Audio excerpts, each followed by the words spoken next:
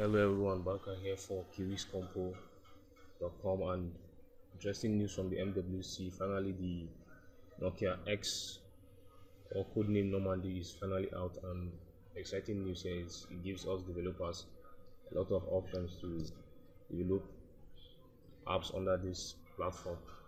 As you notice, the Nokia X comes with its own um, services. If you've watched any of the videos from the MWC any of reviews so I'm going to show you how to set up the SDK in this short tutorial. Um, to download the SDK for Nokia X on Windows platform you just come to this link here developer.nokia.com slash resources slash download. You download this zip file. I've already done this so I won't be downloading it again. So after that you come to you extract the file to any folder of your own convenience. When you've extracted the file, you just run the file.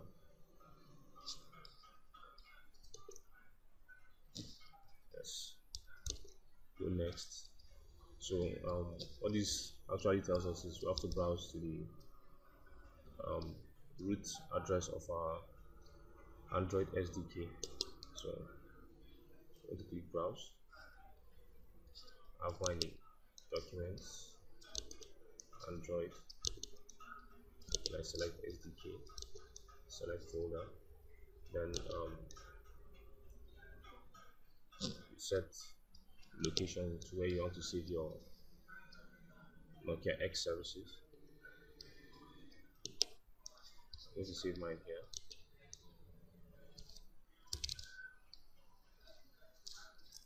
normally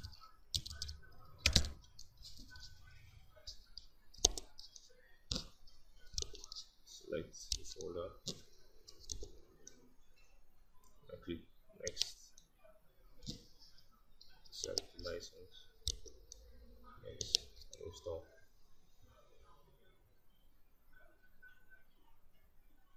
installation doesn't actually take long. Um, the beauty of the Nokia X platform to me is it's as a, a development kind of system I prefer to call Windroid because it has both the Windows 8 phone, Windows Phone 8 flavor and the Android um, flavor.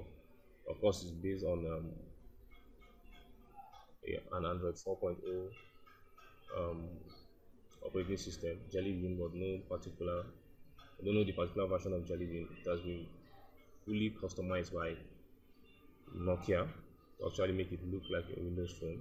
Has both the OneDrive and um, Skype. Another amazing feature is it has its own um, it has its own um, app store.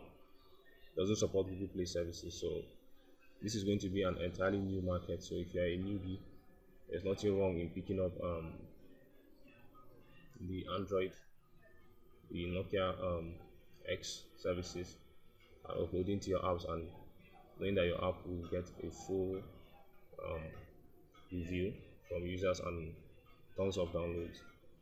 So um, let's just wait while this installs.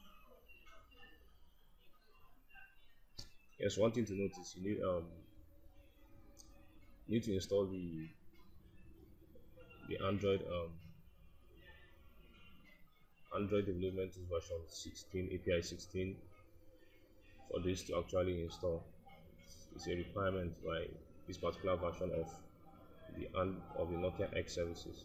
Okay, our installation has is complete just click finish that is all you need to do. Next thing you have to is set it up within Eclipse. So going to fire up Eclipse. You can actually do the installation while Eclipse is running so you have to do that separately. Click to stop so come to our SDK manager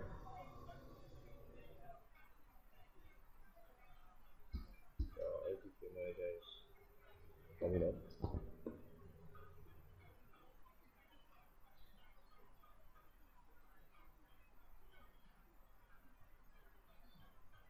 so um, what we are going to do is we're going to set up our Nokia X SDK add-ons I've already gotten the address here